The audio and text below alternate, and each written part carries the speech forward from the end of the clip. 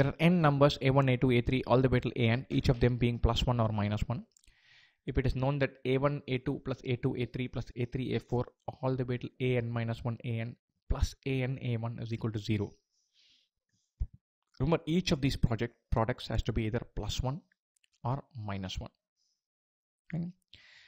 adding plus 1 and minus 1 and finally getting to 0 there should be equal number of plus 1s and minus 1 or there should be an even number of terms. And so let's talk about having two terms. We had 1 and minus 1 minus 1 and minus 1 won't work. Then the product will be 1 into minus 1 plus minus 1 into 1 the final expression that'll be minus 2 that doesn't work. Say there are four terms. We have 1 minus 1 1 minus 1 uh, minus 1 minus 1 minus 1 minus that won't work. 1 minus 1 minus 1 1 maybe that might work. This expression will be minus 1 plus 1 minus 1 plus 1 equal to 0 n equal to 4 this works out really well. N equal to 2 this does not work. N is a multiple of 2 but not a multiple of 4 it doesn't work. Multiple of 3 doesn't work. N can be any multiple of 4 the only possible value of n is 4 the two possibilities. Okay let's think about this. Let's construct it. Let's see if we can construct it for 6 1 minus 1 minus 1 1 1 minus 1 does it work? Product is minus 1 1 minus 1 1 minus 1 minus 1 1 2 3 4 5 6 there are 3 4 minus 1 so this doesn't work. Why is that happening 1 minus 1 minus 1 so the 2 minus 1s here and 2 minus 1s there. This doesn't work.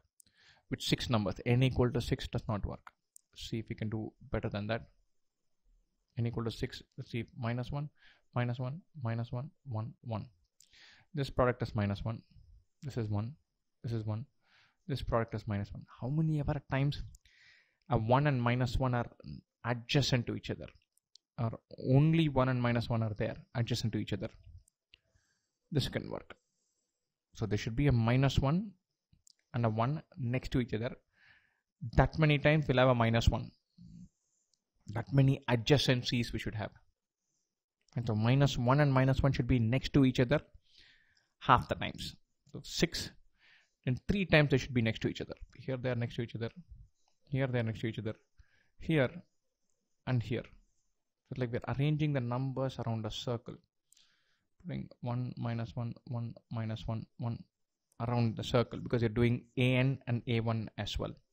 And so like we're putting 1 minus 1 1 minus 1 minus 1 1 some combination. 1 into minus 1 minus 1 another minus 1 another minus 1 1 minus 1 1 minus 1 minus 1 this product is minus 1 this product is minus 1 this product is minus 1 this is plus 1 this is minus 1 this is plus 1 so with 6 it seems like it's not possible. That there's something happening here some pattern that we still have not figured out. So we, we, we need to have minus ones and ones around the circle. Such that the minus ones and ones are, are adjacent to each other half the times. Three times exactly here 1 and minus 1 are adjacent to each other. Here minus 1 and 1 are adjacent to each other. Here minus 1 and 1 are adjacent to each other. And here minus 1 so they're adjacent to each other either 4 times or 2 times running into trouble. And so let's see if with 8 it is possible. If 8 it is possible then we are through. And so 1 2 3 4 5 6 7 8 start with 1 doesn't matter minus 1 minus 1 1 minus 1 minus 1 1 1 this product is 1 this product is 1 minus 1 1 minus 1 minus 1 1 minus 1 so how many products are minus 1 this is minus 1 this is minus 1 this is minus 1 this is minus 1 4 minus 1s and 4 plus 1s minus 4 plus 4 it is indeed possible. With 6 it is not possible. With 8 it is possible.